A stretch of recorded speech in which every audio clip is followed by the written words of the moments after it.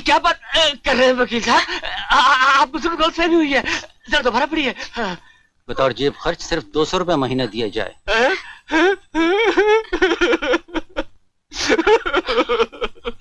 रुकू जीजा जी की जायदाद पर मेरा तो कोई हक नहीं था।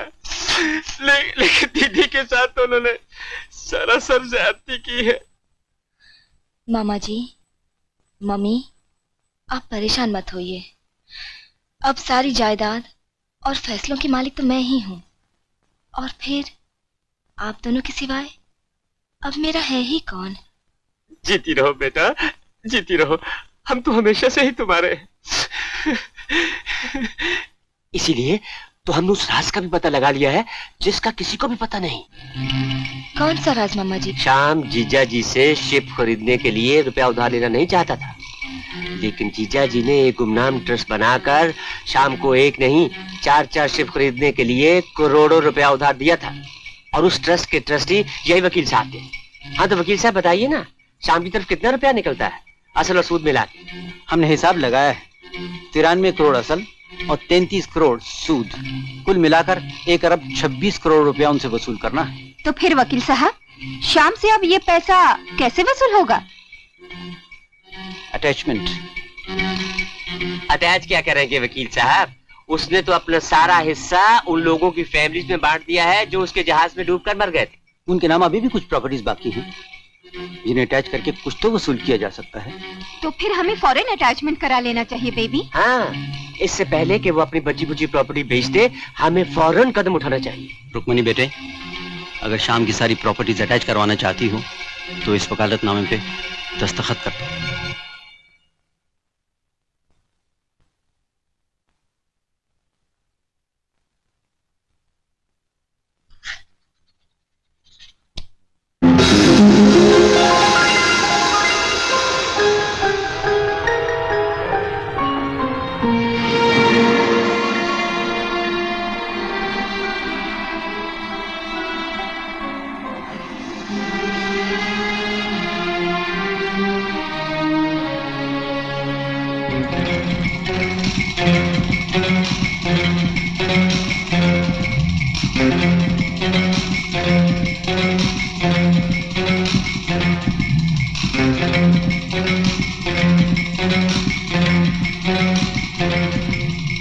साहब, यह शाम। कुर्की का ऑर्डर दीजिए इसे। और इसे यह भी बता दीजिए कि इसके सारे शिप्स सारी बोट्स घर बार सारे ऑफ़िस और बैंक अकाउंट सबको रख कर दिया गया है।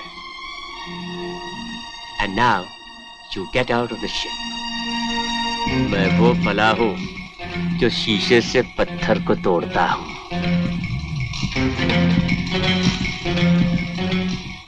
कीप इट हाँ।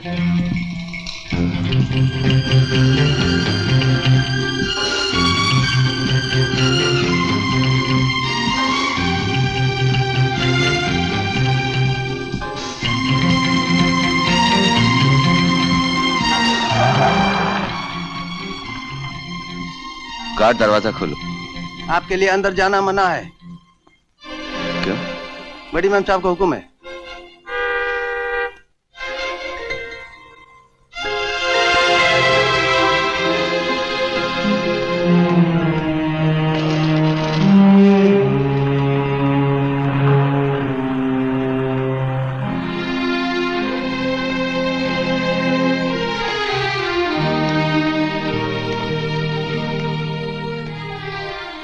आप अपनी प्यारी चीज़ भूल आई थी। सोचा याद आने पर दुख होगा। इसलिए ये गाड़ी देने आया हूँ। गार्ड गाड़ी की चाबी ले लो। रुकमणी जी बाबूजी का बिज़नेस बहुत बड़ा है। जरा होशियारी से संभालिएगा। गलत हाथों में पड़ जाने से कुछ भी हो सकता है। मुझे तुम्हारी राय की ज़रूरत नहीं। मैं जानती हूँ मुझे क्या करना है। ठीक कहती हैं आप।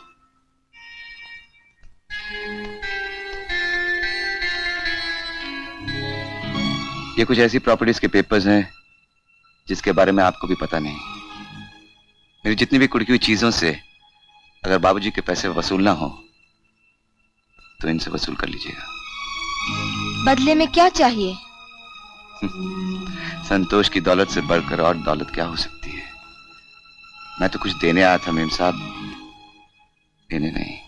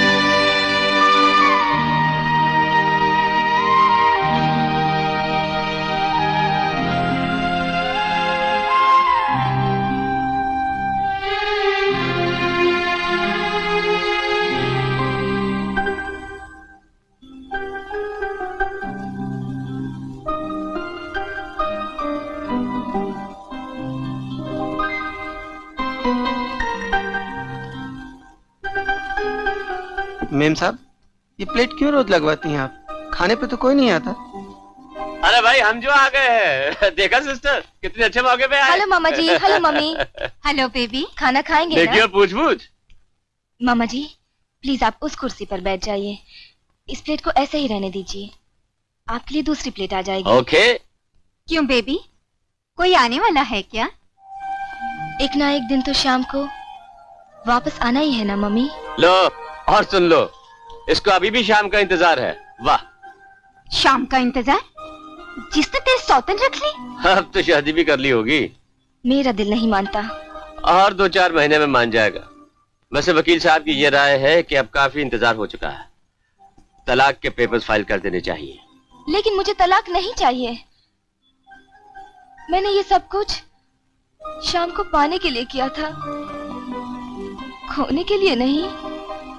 लेकिन लोगों को जब पता चलेगा कि तेरे रहते हुए उसने उस अछू से शादी कर ली तो वो दिन मेरे और उसके रिश्ते का आखिरी दिन होगा मम्मी। लेकिन मुझे सबूत चाहिए। सबूत? अरे हाथ कंगन को आरची क्या? सबूत भी ला देंगे? लेकिन अच्छा तो ये है कि हम उसे अपनी इज़्ज़त उछालने का मौका ही ना दें। हाँ इससे पहले कि वो हमारे मुँह पर जूता मारे हम उसे दूध में से मक्खी की तरह निकाल कर बाहर फेंकते। आई सॉरी मामा जी। सबूत के बिना मैं कुछ नहीं करूँगी। कभी नहीं करूँगी। कभी नहीं। संपत, हम तो फिर वही आकर खड़े हो गए, जहाँ से चले थे। फ़िक्र न करो, सिस्टर। मैं वो बला हूँ जो शीशे से पत्थर को तोड़ता हूँ।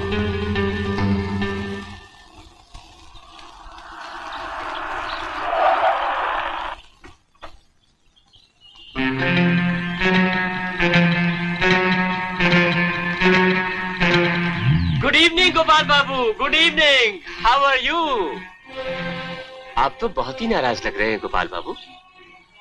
हमें अब आपसे कुछ लेना देना नहीं। ओहो कुछ भी हो जाए गोपाल बाबू लेकिन सलाम दुआ जान पहचान इस तरह खत्म तो नहीं हो जाती। मैं तो कब से आप लोगों को ढूंढ रहा हूँ? लेकिन न जाने आप लोग कहाँ खो गए थे। राधा बिटिया आजकल कहाँ है? कौन आया है बा... अरे राधा बिटिया कैसी हो बिटिया? एक जमाना हो गया तुम्हें देखे हुए। मैंने आपको कहा ना आप यहाँ से चले जाइए प्लीज़। गुस्सा थूक दीजिए गोपाल बाबू।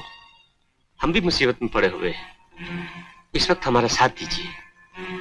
रुको और शाम का अलग हो जाना हमसे बर्दाश्त नहीं होता। हमारा कोई ताल्लुक ना आपके श्याम बाबू से है ना रुकू जी से है ना आपसे है। ये तो ये तो ठीक है गोपाल बाबू। लेकिन दो मासूम ज़िंदगी इस तरह बर्बाद हो जाए तबाह हो जाए ये ठीक लगता है क्या? तुम ही सोचो राधा बिटिया हम क्या कर सकते हैं? रुक्मिनी जी तो वहम का शिकार हो गई हैं। और उसके दिल का वहम सिर्फ़ तुम ही निकाल के फेंक सकती हो। लेकिन कैसे? किसी से शादी करके। जी? शादी तो एक दिन तुम्हारी भी हो जाएगी। लेकिन फ़र्क सिर्फ़ इतना है राधा बिटिया कि अगर तुम्हारी शादी अभी हो जाएगी तो शाम और रुक्कू का उजड़ा हुआ घर बस जाएगा। तुम्हारी शादी एक सबूत बनकर रह जाएगी और रुक्कू के दिल का वहम दूर हो जाएगा। यह साबित हो जाएगा शाम के साथ तुम्हारा कोई संबंध नहीं है। शादी को क्या अपने बच्चों का खेल समझा है संपत बाबू? श्याम बाबू रुक्मिणी जी का टूटा हुआ घर बस जाए। उसके लिए मैं कुछ भी कर सकती हूँ। राधा जरा सोचो तो। शादी कोई तमाशा तो नहीं? कि मिट्टी से कोई पुतला बनाया जाएगा और तुम्हारी शादी कर दी जाएगी? बहुत अच्छा लड़का बताऊँगा गोपाल बाबू। और शादी का सारा खर्चा भी मैं उठाऊँगा। देख लेना गोपाल बाबू। अपनी राधा बिटिया के लिए एक हीरा लड़का लाऊँगा। हीरा। लेकिन इस लेकिन में क्या रखा है बाबा? उनकी खुशियाँ वापस लौट सके तो मैं कुछ भी करूँगी। उनका टूटा हुआ घर बच सके तो मैं किसी से भी शादी कर लूँगी बाबा। तुम बिना सोचे समझे अपनी ज़िंदगी दाव पर लगा रही हो राधा। चाहे कुछ भी हो इतने बड़े त्याग की ज़रूरत नहीं। बाबा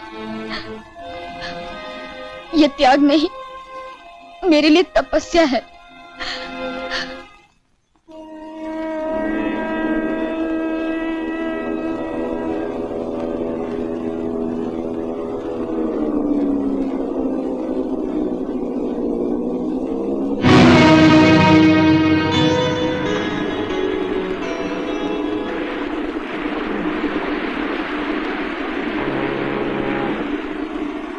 श्याम बाबू आप इस हाल में?